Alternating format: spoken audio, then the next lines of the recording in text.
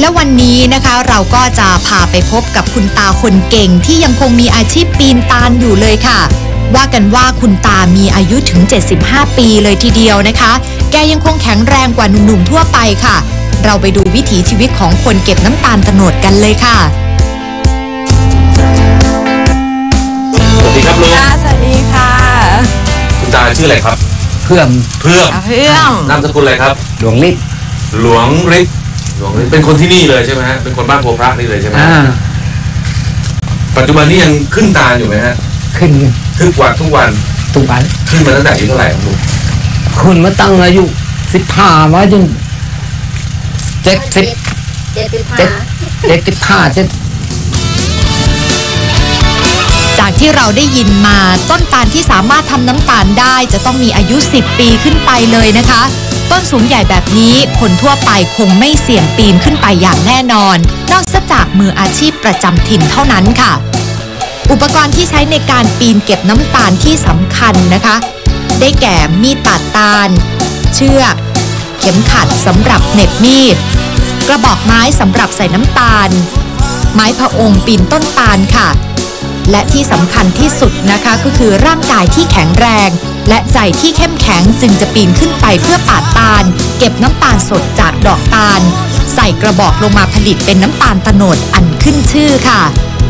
การทำน้ำตาลตโนดนี้นะคะ แต่เดิมก็ทำเพื่อที่จะบริโภคในครัวเรือน แต่ถ้าเหลือก็จะแจกจ่ายญาติพี่น้อง โดยใช้เวลาว่างจากการทำนามาทำน้ำตาล ซึ่งปัจจุบันก็มีการทำน้ำตาลตโนดเพื่อจำหน่ายเป็นอาชีพกันมากมายค่ะ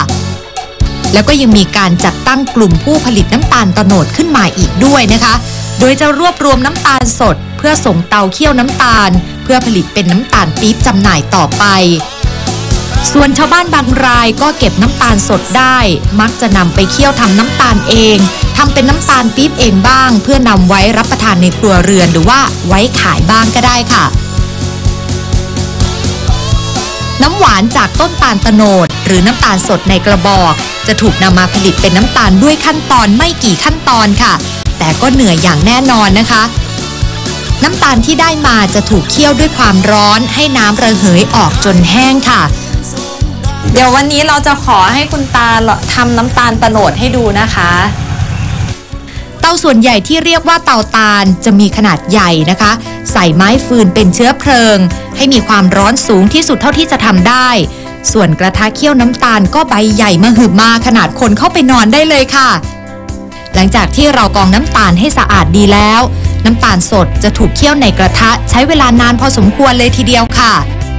แล้วยังมีเครื่องกรองน้ำตาล เหล็กกระแทกน้ำตาล และอุปกรณ์ประกอบอื่น ๆ อีกมากมายนะคะ นะได้ปะคะเพราะทำอย่างนี้ใช่ปะอ่ามองดูต้องมองหอมอะต้องไวกว่านี้นะเดี๋ยวจริงเหรอคะ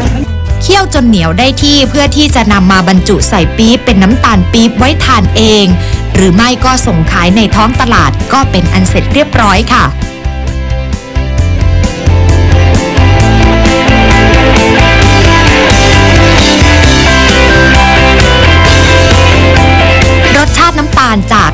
โนดที่นี่นะคะจะหอมหวานกลมกล่อมมาก ๆ เหมาะสำหรับใช้ในการปรุงรสอาหาร ไม่ว่าจะเป็นอาหารหวานหรือแม้แต่อาหารข้าวได้หลากหลายให้อร่อยลิ้นค่ะ หรือหากใครไม่กลัวที่จะเป็นเบาหวานนะคะ จะทานน้ำตาลโตโนดเปล่าๆเป็นของหวานก็ยังได้เลยค่ะ เราก็ได้ความรู้แล้วก็ได้ชิมรสชาติน้ำตาลโตโนดที่เป็นของแท้ดั้งเดิม แล้วก็ปลอดสารพิษนะคะ ต้องขอขอบพระคุณคุณยายมากนะคะ วันนี้ที่ให้เราได้มาดูขั้นตอนแล้วก็มาชิมรสชาติที่อร่อยแบบนี้ขอบพระคุณค่ะขอบคุณครับ อะครูไก่คะต่อจากนี้ครูไก่จะพาหญิงไปที่ไหนเอ่ยยังไม่หมดเรื่องของหวาน ค่ะ พอดียายเขาบอกเขามีหลานที่ชมพู่ อืม ผมก็เลยเดี๋ยวพาน้องหญิงไปชิมชมพู่ที่ต้นครับที่ต้น ค่ะ เห็นเขาบอกว่าที่นี่ขึ้นชื่อชมพู่เมืองเพชรครับค่ะมันจะมีรสชาติ มีรูปทรง มีสีมีเป็นลักษณะเฉพาะเป็นพันธุ์เฉพาะของพื้นที่นี้นะครับ ค่ะ ก็คือชมพู่เมืองเพชรอะ อยากกินเดี๋ยวเราไปดูที่สวนกันเลย ค่ะต้องกรอบหวานแน่เลยวันนี้ขอบคุณยายค่ะ ไปแล้วค่ะ สวัสดีค่ะ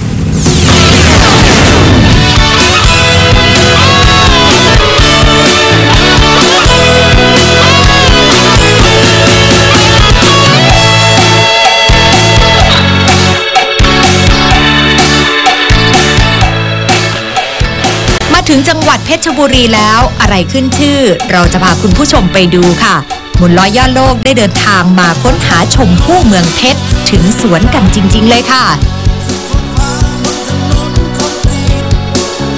สวัสดีครับ สวัสดีค่ะ ที่อะไรครับ สมหมายคุณเคยครับที่สมหมายคุ้นเคยคุ้นเคยเจ้าของสวนชมพู่ที่นี่ครับผมวันนี้ครับเป็นชมพู่เมืองเพชรใช่ ตามหามานานตอนแรกจริงๆหญิงคิดว่าชมพู่เมืองเพชรเนี่ยน่าจะเป็นสีออกเหมือนทับทิมสีแดงแต่นั่นเป็นชมพู่ต่างประเทศที่เข้ามาให้กับทิมจันทร์ใช่ไหมฮะครับเพชรใส่ลุงๆอ๋อ ถ้าถ้าเมืองเพชรแท้ต้องอย่างนี้เลยใช่ไหมครัคะบครับสีขาวอืมแต่ประมาณนี้ตูดก็เป็นสีชมพูหรือเปล่าครับ เนี่ยสูตรอันชนี้มครับพู อันนี้อันนี้อายุเท่าไหร่แล้วอะอันนี้คะประมาณครึ่งเดือนฝ่าฝ่าครึ่งเดือนกว่าอ่าครับ ต้องกี่เดือนถึงจะเก็บได้ ประมาณเดือนหนึ่งเดือนหนึ่งเก็บได้ จากวันที่ออกอีกหนึ่งดอกเหรอฮะจากจากวันที่หอออกดอกทั้งหมดตั้งแต่ออกดอกสามเดือน ออกดอกเสร็จแล้วอายุกี่วันถึงจะห่อได้ครับก็ประมาณสองเดือนครึ่งสองเดือนสองเดือนประมาณสองเดือนถือว่าโตช้ามากครับ เพราะว่าตั้งแต่เริ่มตั้งเป็นสิมเป็นเม็ดเม็ดๆ อ่ามันจะมีเล็กๆเป็นดอกเล็กๆเป็นดอกเล็กๆแล้วเป็นเท่าตุกเขียว แล้วก็เท่าเม็ดข้าวโพดแล้วก็เริ่มบานบานออกมาแล้วก็ค่ะ ก็ประมาณงงๆหัวแม่มือใช่ไหมถึงจะเริ่มห่อได้ ครับ เริ่มห่อได้ประมาณหัวแม่มือ หลังจากห่อได้ประมาณ เก็บเกี่ยวนี่ประมาณประมาณเดือนหนึ่งหนึ่งเดือนครับวันที่ห่อเดือนหนึ่งเพราะว่าเดี๋ยวนี้จะห่อลูกเล็ก ลูกไม่ข้าวโพดมาจะงุ้มงุ้มงุ้มก็ห่อแล้ว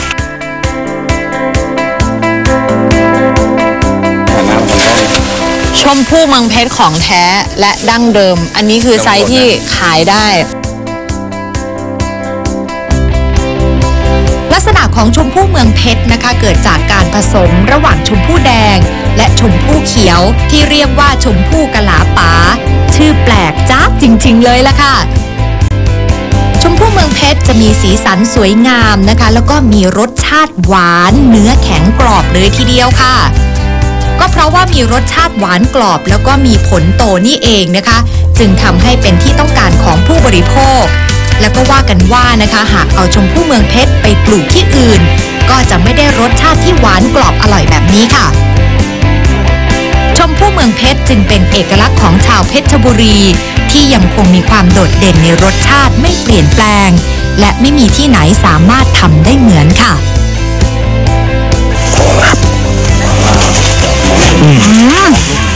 หวานหวาน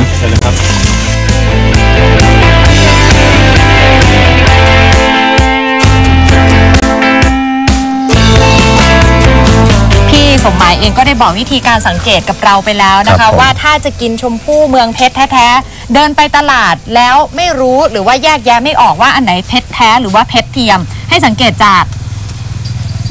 ลักษณะลูกแล้วก็ค่ะ ผิว อ่าจะเป็นประเภทนี้สี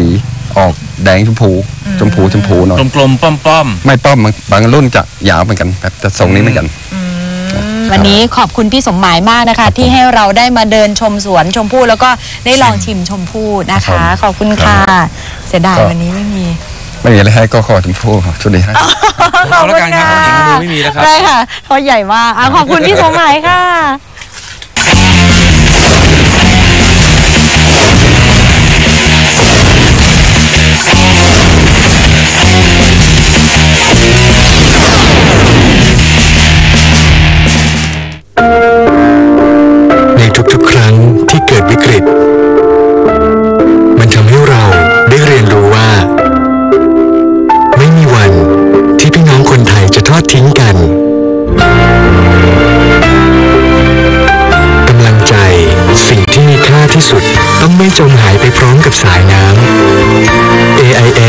เชิญชวนทุกท่าน ร่วมเป็นกำลังใจให้พี่น้องคนไทย ผ่านวิกฤตครั้งนี้ไปด้วยกัน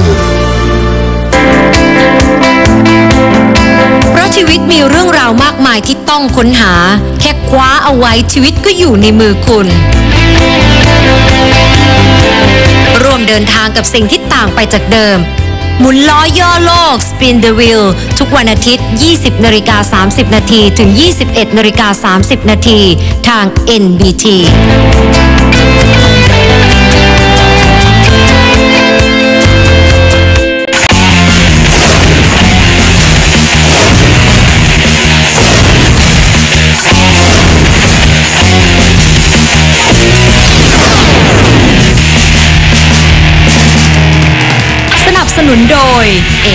S มาเพชรบุรีแล้วหากไม่ได้มาเยี่ยมชมของดีประจำจังหวัด อย่างขนมหม้อแกงแล้วก็คงเหมือนว่า เรามาไม่ถึงเพชรบุรีอย่างแน่นอนค่ะทีมงานหมุนล้อยอดโลกจึงได้จัดทัวร์ลุยครัวขนมหม้อแกงกันให้เห็นดำเห็นแดงกันเลยละค่ะวันนี้ มาดูกันว่าขนมประจำจังหวัดนี้ เขามีวิธีการทำแบบไหนบ้าง จะหวงสูตรการทำเหมือนขนมเจ้าอื่นๆ หรือไม่ามเราไปดูเลยค่ะ ขนมแม่เอ้ย ขนมหม้อแกง หม้อแกงเมืองเพชรค่ะ สวัสดีค่ะสวัสดีค่ะ ป้าสมานใช่ไหมคะใช่ค่ะ โอ้โหนี่มาทำไมกันเนี่ย จะมาขอดูวิธีการทำขนมหม้อแกงค่ะคุณป้าแหมมาเมืองเพชรอ๋อทุกทีชิมอย่างเดียวเนี่ยชิมอย่างไม่เดียว พอรายการของเราอยากจะให้ดูวิธีการทำแล้วก็มาบุกถึงโรงงานของคุณป้าเลยได้ยินชื่อเสียงมานาน จ้ะค่ะ อันนี้คืออยู่ในขั้นตอนที่เท่าไหร่แล้วอะคะ ขั้นนี้ขั้นตอนที่ซ่องและขั้นตอนแรกก็คือผสมไข่กับน้ำตาลผสมไข่กับน้ำตาลกรองเสร็จเรียบร้อยก็เอาน้ำกะทิที่คั้นแล้วกรองเสร็จค่ะ ก็มาก็มาผสมกันแบบนี้ อ๋อ ก็ได้ได้ก็ได้ส่มาวนเป็นแบบนี้ใช่ ตอนนี้ก็เป็นขั้นตอนที่ซ่องแล้ว ขั้นตอนที่สองคือหยอด แล้วทีเนี้ยข้างหน้าเนี่ยของคุณป้าหญิงเห็นมีหม้อสองอันก็คืออันนี้ค่ะ กับอีกอันหนึงสีหม้อเหลืหม้อๆสองอันเนี่ยนะ คือแบบว่าไงเหมือนว่า เราต้องใส่ฟองต่างหากถ้าเราใส่ไปทีเดียวมันก็จะเปลืองฟองไข่มากก็พาให้แบบว่าไงมันมันแข็งกระด้างไม่นิ่มนวลใช่ไหมแล้วก็เราก็หยอดนี่ไปก่อนแล้วก็เดี๋ยวเราจะใส่ฟองอีกทีหนึ่งแล้วก็ใส่ฟองทีหนึ่งมันก็จะเป็นหน้าตาออกมาที่ว่าหม้อแกงเนี่ยสวยงาม แต่ว่าถ้าเราใส่แบบนี้แล้วนะสีมันจะข้าวมันไม่มันไม่เหลืองเหมือนที่มันมีไข่ด้วยไงเดี๋ยวเราจะทำขั้นตอนที่สามให้ดูอั นนี้ก็คือเทคนิคความอร่อย จริงๆที่เทคนิคการอร่อยไม่ได้เกี่ยวกับการที่ทำเขาเป็นว่าที่อ่าของเราใช้สดๆทั้งหมดเหมือนว่าไข่สดกะทิสด แล้วก็อ่าทำแบบว่างานไม่ได้ว่าเรามาแช่ไว้แบบทำแล้วแช่ไว้นี่ไงเราก็ทำสดๆเลยนี่แหไม่ละ ได้ค้างไว้นานทำเสร็จใช่แล้วเข้าเตาเผาเสร็จปุ๊บออกขายเลยอ่าใช่ อ่ามีหน้าล่ะป้าถึงดัง ป้ามีลูกชายไหมคะ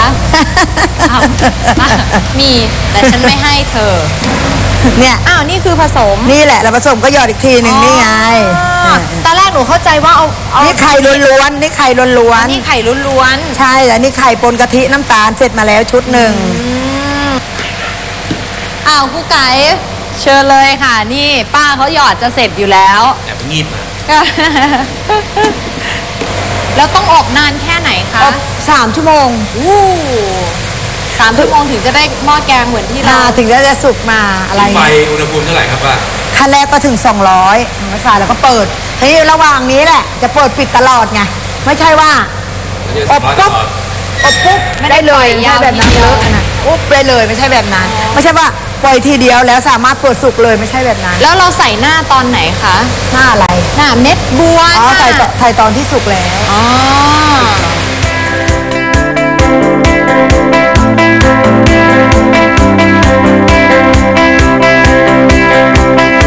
เป็นอันเสร็จเรียบร้อยพร้อมที่จะส่งขายที่ตลาดนะคะสำหรับขนมหม้อแกง ที่มาจังหวัดเพชรบุรี ใครก็ต้องซื้อติดไม้ติดมือไปฝากแล้วก็ซื้อทานด้วย อร่อยจริงๆ confirm เพราะคุณป้าบอกว่าวัตถุดิบทุกอย่างต้องสดใหม่เสมอ แล้วก็ไม่มีสารกันบูดซึ่งถือว่าดีมากๆนะคะ อ้าวป้า ป้าก็เอาของฝากจากเพชรบุรีขนมหม้อแกงเอาไปคุณป้าคะ ไปกลางทางเดี๋ยวเผื่อหิว กินหมดไหมเนี่ย ถ้าหนูกินหมดนี่หนูไม่ต้องกินอะไรแล้วค่ะป้า โอเคค่ะ ก็จ้ะขอบคุณป้า มากนะคะ ค่ะ